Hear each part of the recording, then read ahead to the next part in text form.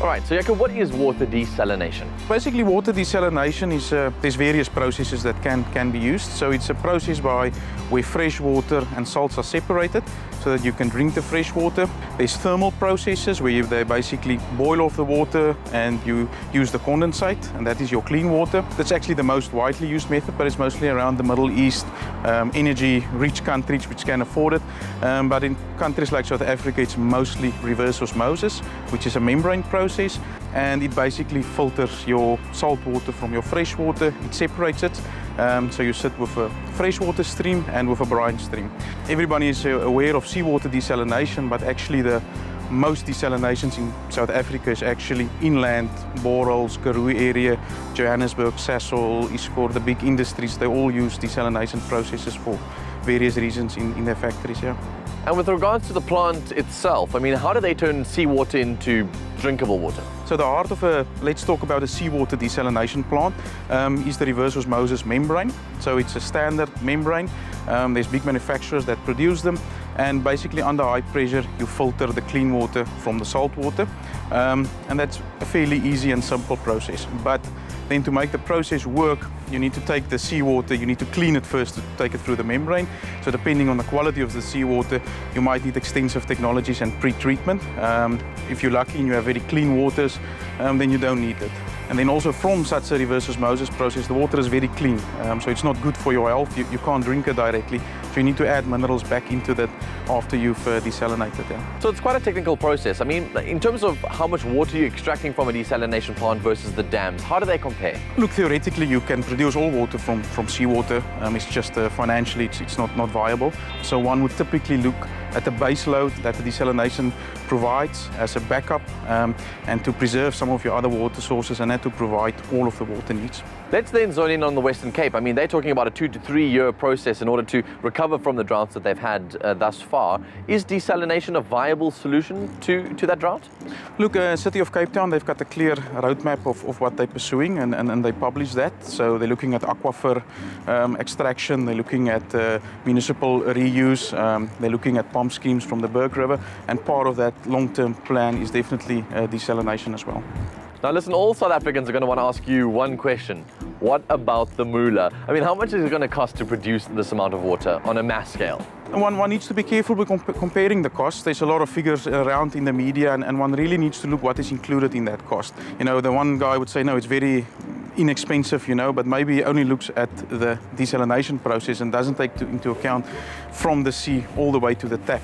Um, so current figures that, that we see is basically to operate, provide the energy, maintenance, chemicals, everything for a fairly large desalination plant. You probably talk around 8 rand per cubic meter but then there's still capital financing. The plant needs to be paid off and amortized um, over time, and that will probably add another 8 rand as well. Um, so you probably look at a 16 rand total price, including ev everything, including financing, but then obviously there's still cost on the municipal side for conveyance and get it to your, to your tap.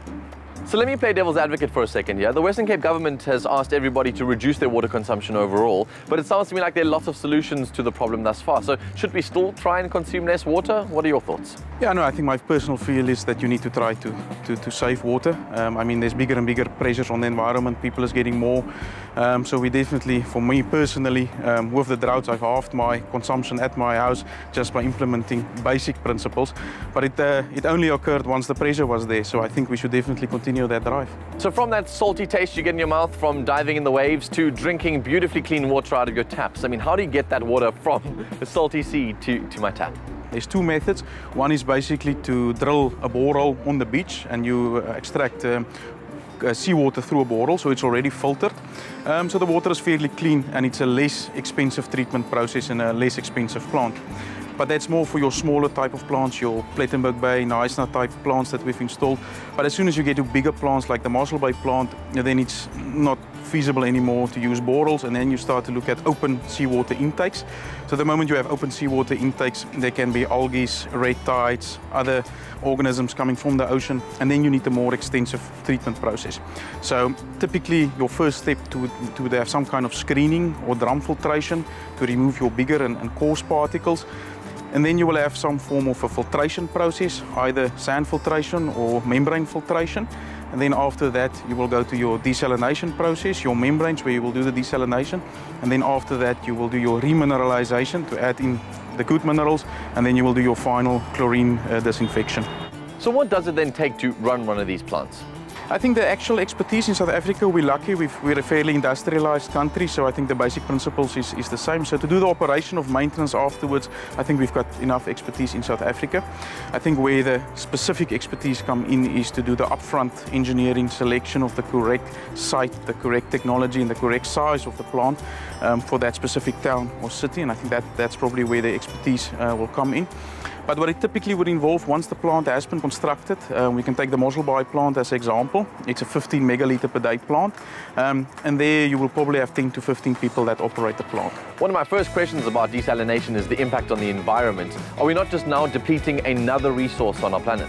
Look, I think South Africa's got very good systems and, and, and, and, legislation in place, so I can't just go and build a desalination plant. There needs to be a proper environmental impact assessment that's conducted by a professional uh, body.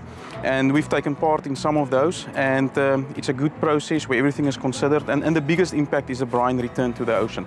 So it will look at the specific place, you know, so they will not discharge the brine into the coastal area where there will be a lot of damage. They will typically take it in deeper where there's a lot of dilution effect in a fairly small area um, to minimize the impact. Excuse my pun, but it sounds to me like this could become quite a fishy process. Do you guys end up extracting a whole bunch of sea creatures? Yeah, look, if it's open water extraction, for example, if we take the Mosselbaai one, it's a couple of hundreds meter offshore that you extract it, so it's not right in that active marine zone that you extract it. So the plant will be designed and the intake will be positioned in such a manner that minimal impact is caused to the environment and the fish, um, and screening systems will be put in place to prevent fish um, from being sucked into the plant. So it seems that water desalination could contribute to water conservation in the Western Cape, but it's going to come at a huge cost. It's still up to each and every resident in the Western Cape to use water responsibly.